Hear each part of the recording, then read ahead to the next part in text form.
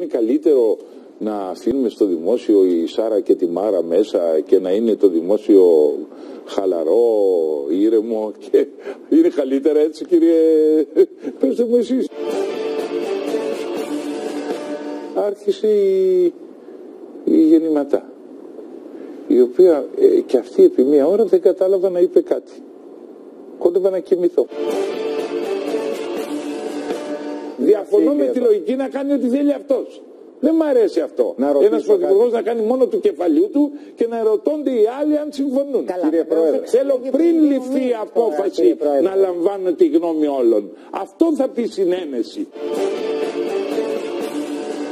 Το Σαμαρά και το Βενιζέλο θα τους γράψει ο ιστορικός του μέλλοντος, η προσωπική μου γνώμη, με χρυσά γράμματα. Από αυτά τα χρυσά που πάμε τα δόντια μας Δεν ξέρω τα... αν είναι από αυτά τα χρυσά ή από τα Αν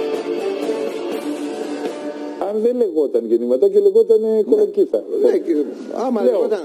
λέω ένα όνομα. Αν λεγόταν κολοκύθα. Ναι, ή ο Μητσοτάκης, αν δεν λεγόταν Μητσοτάκης και λεγόταν- Κύριε, κύριε Λεβέντη, ένα Ναι. λεπτό. Και εσείς έχετε βάλει όλοι σας την οικογένεια μέσα στο κόμμα. Τι πάνε να πείτε. Έτσι είδατε. Έτσι είδανε.